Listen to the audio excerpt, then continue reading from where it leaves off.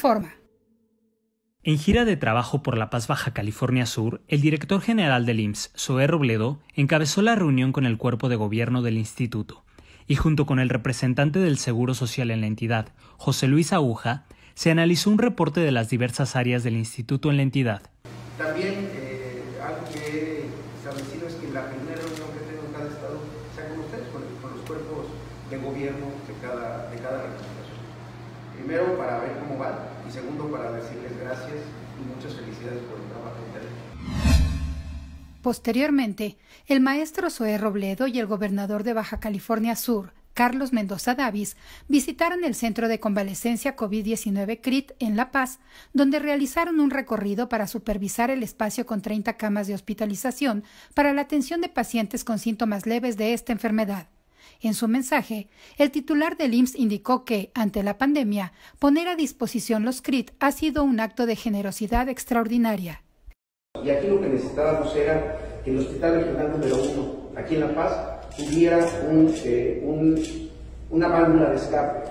Y además, con una ventaja enorme. Este modelo ya lo probamos en Nezahualcóyotl, también en un CRIT, en, eh, en Iztapalapa también en un CRIT y en eh, el, hospital está en el. El Instituto Mexicano del Seguro Social informó a los más de 3.8 millones de pensionadas y pensionados que el pago de su pensión correspondiente al mes de agosto se realizará el próximo viernes 31 de julio de 2020. Como medida de prevención ante la contingencia por COVID-19, se recomienda no asistir el mismo día de pago a las sucursales bancarias, sino hacerlo los días posteriores, de manera escalonada y con los protocolos sanitarios indicados. Ante cualquier duda, pueden comunicarse al teléfono 800-623-2323 y elegir la opción número 3.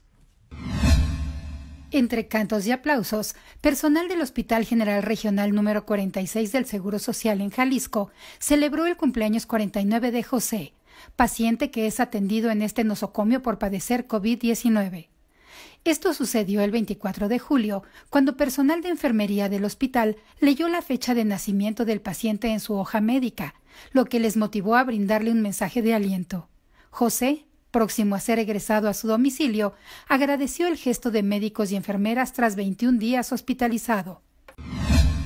Hoy terminó el plazo para donar sangre en el módulo itinerante que se ubicó en las instalaciones del edificio central del IMSS en Reforma 476 si no pudiste asistir, a través de las redes sociales del instituto te indicaremos dónde puedes localizar el siguiente punto. Ayúdanos a ayudar. Gobierno de México.